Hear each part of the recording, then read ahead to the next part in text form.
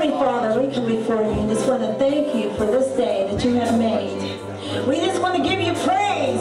Hallelujah. Thank you, Jesus. Because we know that you are in the midst. And we ask you right now that